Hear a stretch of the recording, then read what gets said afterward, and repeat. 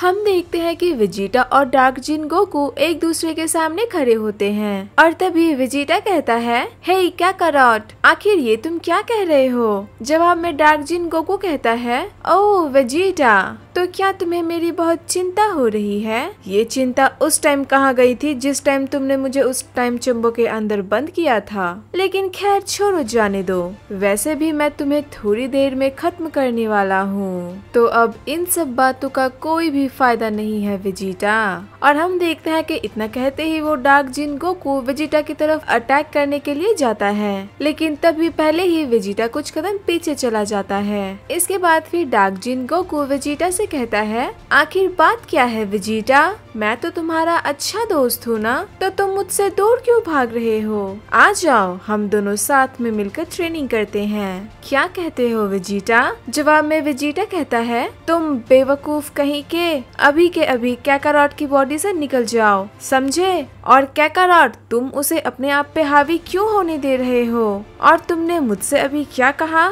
तुम मुझे खत्म करने वाले हो? तो ठीक है, अभी कुछ देर में ही पता चल जाएगा कि यहाँ पर कौन मरने वाला है। और ऐसा कहते ही वेजिटा अपनी पूरी ताकत को बढ़ा लेता है और उसे देखकर गोकू चौंक जाता है। फिर गोकू कहता है, क्या? वेजिटा, तुम आखिर इस फॉर्म तक कब पहुँचे? नहीं, उस डीमन के साथ लड़ाई कर कर मेरी पूरी ताकत खत्म हो चुकी है। अब मैं और क्या करूँ? शायद मुझे हार मान लेना चाहिए। मैं तुम्हें अभी नहीं हरा पाऊँगा। लेकिन फिर भी मुझे कोशिश तो करनी ही होगी। क्योंकि कोशिश करने वाले कभी नहीं हारते। क्यों है ना वेजिटा? और ये बात कहकर जिन पावर अप करता है, लेकिन वो ब्लू फॉर्म में ही रुक जाता है। और उसके बाद फिर जिन काफ़ी चौंक जाता है और कहता है, क्या मैं सिर्फ़ यही कर सकता हूँ? ब्लू फॉर्म तक और फिर उसके बाद हम देखते हैं कि इतना कहते ही वो जिन वेजिटा पे अटैक करने जाता है, और उधर वेजिटा जिन पर हावी होने लगता है। और फिर वेजिटा कहता है, क्या हुआ जिन? क्या तुम में बस इतना ही दम है? जवाब में जिन कहता है, ये तो बहुत चीटिंग है वेजिटा मैं तो सिर्फ़ सुपर सेन ब्लू में हूँ। और तुम मास्टर अल्ट्रास्टिंग थ्री पर। ये तो बहुत नाइंसाफी है। मैं इस पे कैसे लड़ सकता हूँ? वेजिटा और फिर हम देखते हैं कि वो डेमन कहता है, क्या बकवास है? मैंने फालतू में इस मॉडल पे भरोसा किया। और फिर हम देखते हैं कि लूसियन के इतना कहते ही और पलक झपकाते ही जिन लूसियन के सामने आ जाता है। और फिर जिन लूसियन से कहता है, तुमने अभी मुझसे क्या कहा? लगता है तुम्हें मरने का शौक है। क्या तुम्हें अपनी ज़िंदगी प्यारी नहीं है? तो ठीक है, मैं तुम्हारा काम और भी ज़्यादा आसान कर देता हूँ। और ये कहते ही जिन लूसियन को तुरंत खत्म कर देता है और वो उसे बहुत ही आसानी से मार देता है। और फिर हम देखते हैं कि जिन को ऐसा करता देख, बाकी सभी बहुत ही ज़्यादा हैरान हो जाते हैं, क्योंकि कुछ देर पहले जिन विजिटा के सामने नहीं टिक पा रहा था और उसने एक ही झटके में लूसियन को खत्म कर दिया। फिर हम देखते हैं कि जिन पीछे मुड़कर देखता है और वो देखता है कि वो सभी लोग उसे बहुत ही हैरानी से देख रहे होते हैं। फिर इसके बाद जिन कहता है ओह तो लगता है कि तुम सबको मेरी ताकत का पता चल गया। है ना? ये तो बहुत बुरा हुआ। खैर, अब तो तुम लोगों को मुझसे बहुत ज़्यादा डर लग रहा होगा। क्यों, है ना?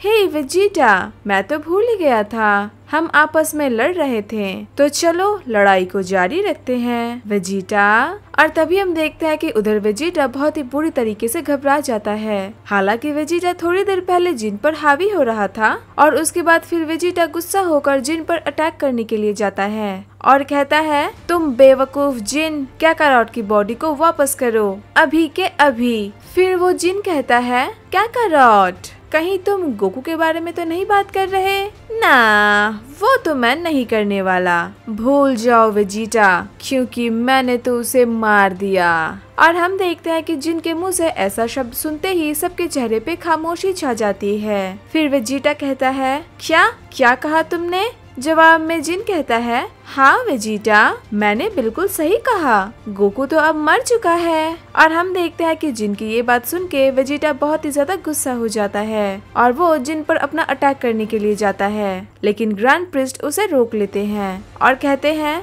वेजिटा, तुम उससे नहीं लड़ पाओगे। वो बहुत ही ज़्यादा ताकतवर है। क्या तुम्हें नहीं दिख रहा? और लगता है कि ये अब पूरी तरीके से डार्क जिन गोकू बन चुका है। इसीलिए इसकी पावर इतनी ज़्यादा है। और डार्क जिन गोकू के कंप्लीट होने के बाद उसके यूज़र को बहुत ही लाजवाब शक्तियाँ मिलती हैं। और ये भी बिल्कुल वैसा ही लग रहा है। तुम शांत हो जाओ वेजिटा इसे मैं देखता हूँ। फिर डार्क जिन गोकू कहता है ओह तो देखो जरा।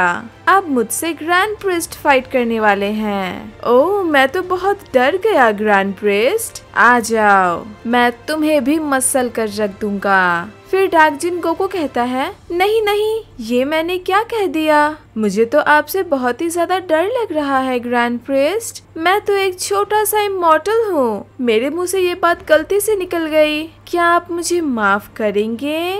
और अगर नहीं भी करेंगे तो मुझे इससे कोई फ़र्क नहीं पड़ता।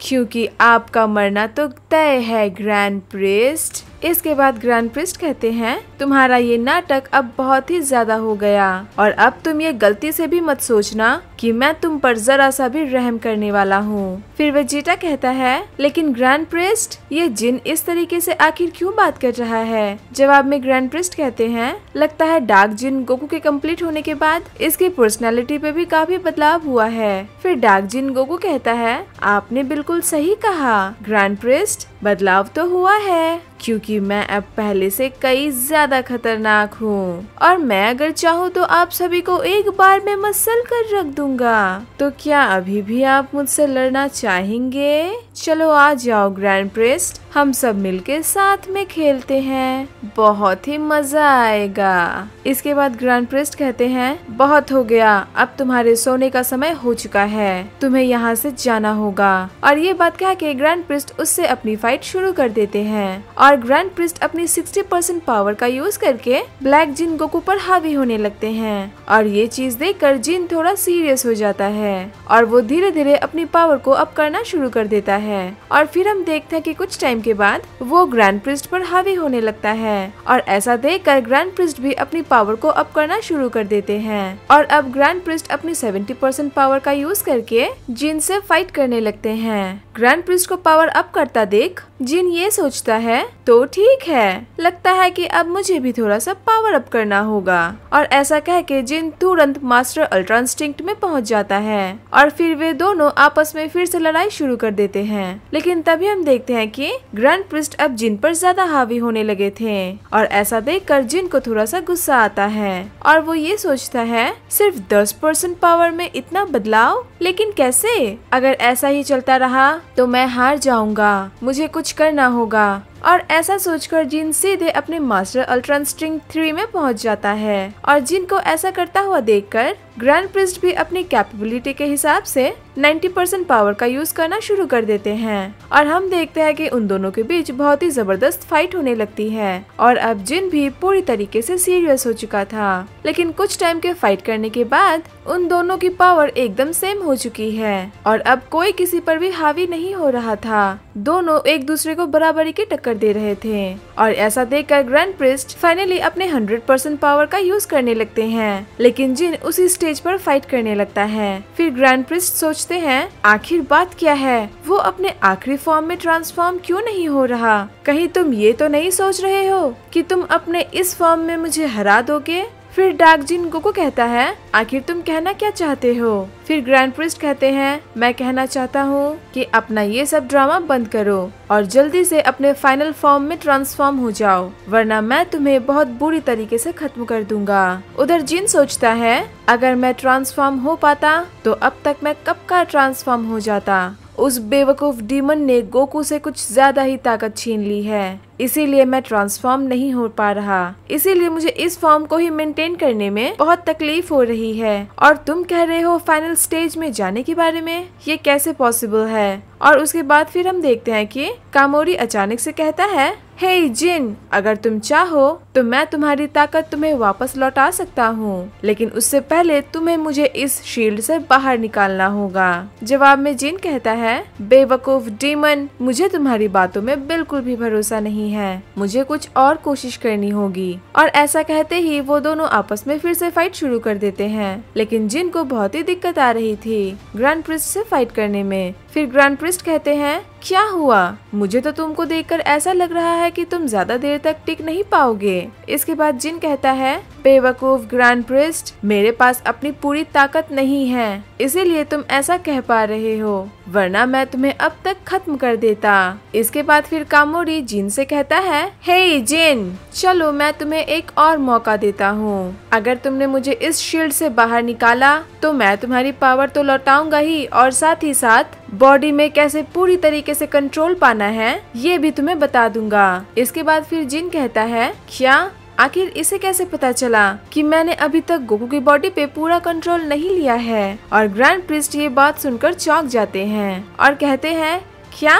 आखिर तुम्हारे कहने का मतलब क्या है? यानी कि इसने अब तक गोकू की बॉडी पे पूरी तरीके से कंट्रोल नहीं लिया है। यही मौका है गोकू को बचाने का। और फिर ग्रैंड प्रिस्ट वेजिटा से कहते हैं वेजिटा मैं जैसे ही तुम्हें सिग्नल दूँ, तुम जिन को जाकर पकड़ लेना। शायद गोकू को बचाने का ये आखिरी मौका हो। उधर जिन के पास कोई भी रास्ता नहीं होता है। लेकिन फिर भी जिन ये सोचने लगता है कि आखिर वो क्या करे? क्या वो इसी स्टेज में ग्रैंड प्रिस्ट से फाइट करे? या फिर वो उस डीमन पे भरोसा करके उसे आज़ाद कर दे। इसके बाद फिर जिन सोचता है, आखिर मैं क्या करूँ? मेरी तो कुछ भी समझ में नहीं आ रहा। मैं उस डीमन पर आखिर बिल्कुल भी भरोसा नहीं कर सकता। लेकिन रुको जरा। शायद कुछ देर पहले वो लोग गोगो को साथ में लेकर जाने के लिए बात कर रहे थे। कहीं वो मेरी पावर्स लौटाने के बारे में सच तो नहीं कह रहा? आखिर मैं करूँ तो क्या करूँ? मैं गोगो की बॉडी पे पूरी तरीके से कंट्रोल भी नहीं कर पा रहा। बस एक बार मैं गोकू की बॉडी पे कंट्रोल कर लूँ, उसके बाद मेरे सामने कोई भी नहीं टिक पाएगा। इसके बाद फिर ग्रैंड प्रिस्ट कहते हैं